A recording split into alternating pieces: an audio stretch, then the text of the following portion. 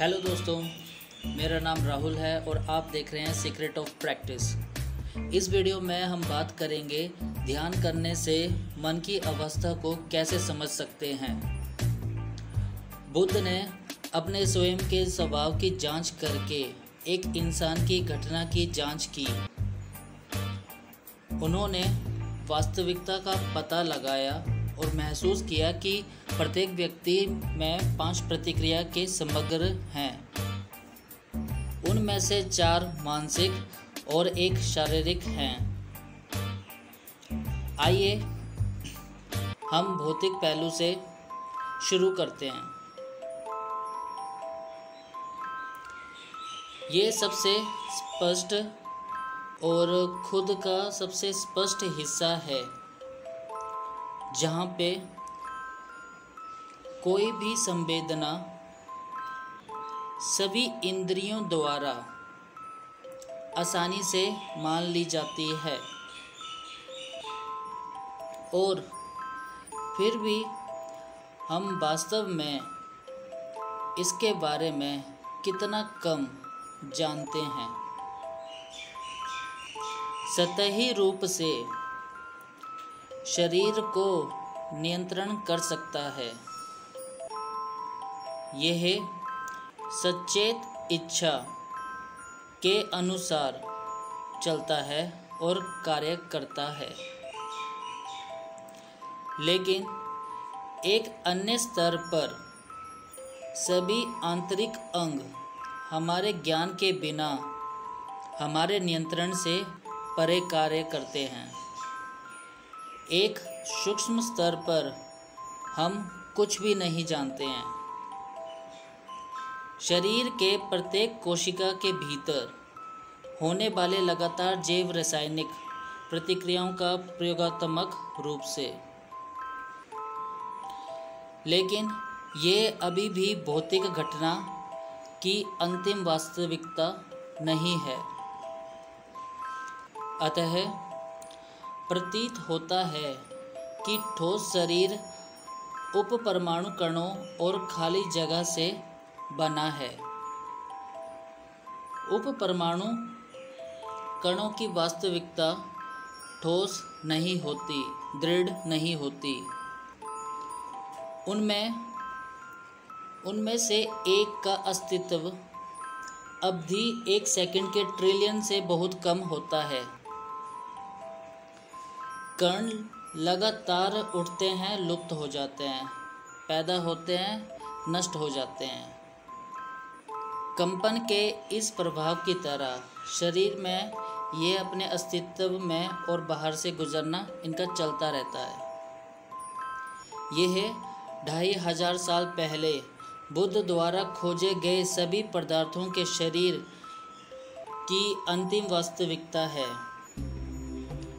शारीरिक प्रतिक्रिया के साथ साथ मन की मानसिक प्रक्रिया भी होती है।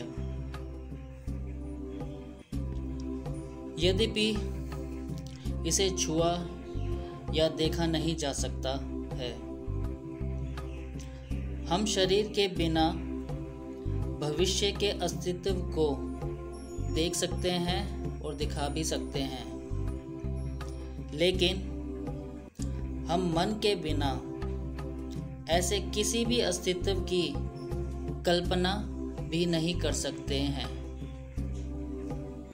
फिर भी हम मन के बारे में कितना कम जानते हैं और हम इसे कैसे नियंत्रण कर पाते हैं, वो भी थोड़े स्तर पर।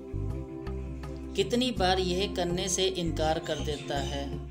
हम क्या चाहते हैं और वह हमसे क्या करवाता है, जो हम नहीं चाहते हैं। चेतन मन का हमारा नियंत्रण प्राप्त रूप से कठिन होता है। लेकिन अचेतन हमारी शक्ति या समझ से परे है। बुद्ध ने शरीर और मन की जाँच की है। और उसमें पाया कि उसके चार भाग होते हैं, चेतना, अनुभूति, सनसनी और प्रतिक्रिया। इन चारों में एक के बाद एक के रिएक्शंस आते हैं। जैसे पहली प्रतिक्रिया, चेतना, मन का प्राप्त हिस्सा है। यह बस किसी भी घटना या किसी भी इनपुट या शारीरिक या मानसिक के स्वागत की की घटना को पंजीकृत करता है। यह लेवल को असाइन किए बिना या मूल्य निर्णय देने के बिना अनुभव के कच्चे डेटा को नोट करता है। दूसरी मानसिकता प्रक्रिया धारणा है। मन का यह हिस्सा पहचानता है जो चेतना द्वारा नोट किया गया है। यह आने वाले कच्चे डेटा को अलग करता है। लेबल करता है और मूल्यांकन करके सकारात्मक और नकारात्मक बनाता है। मन का अगला हिस्सा संवेदना है। वास्तव में, जैसे ही कोई इनपुट आता है या कोई मैसेज या कोई संवेदना आती है संवेदनी के एक संकेत उठता है कि कुछ शरीर में हो रहा है या कहीं बाहर कुछ हो रहा है। जब तक इनपुट का आंकलन नहीं किया जाता, तब तक सनसनी तटस्थ रहती है।